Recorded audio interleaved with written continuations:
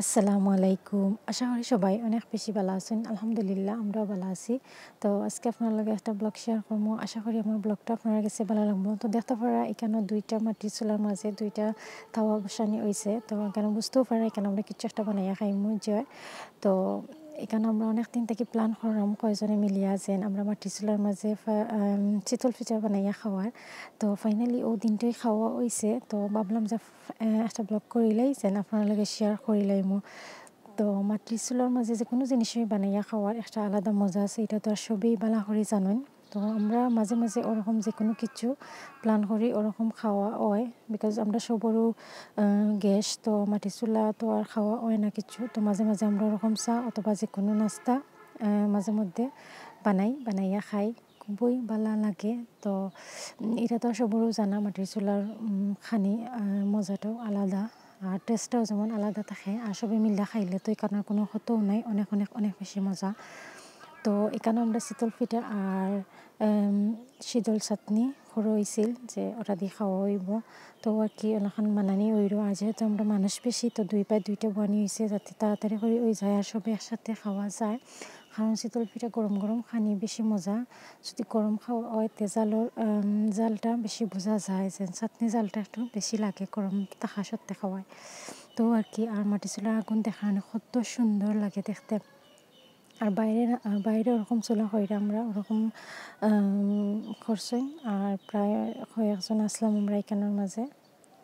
তো সবাই মিলিয়া বানাইছি। আর অনেক অনেক বেশি মজা আছিল। তো মজার কথা তো আপনারা কিতো হইতাম। আপনারা তো বুঝতে পারছেন বাড়ির মুখ যে কোনো রান্ধু অনেক বেশি মজা।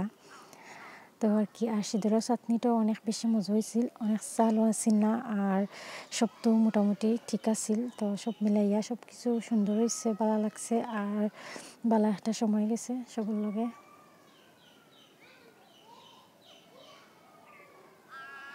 খুব সুন্দরভাবে হয়েছে বাট একটা চুলায় সমস্যা করছে, একটা চুলার মাঝে ঠিক মতো আগুন হয়েছে না।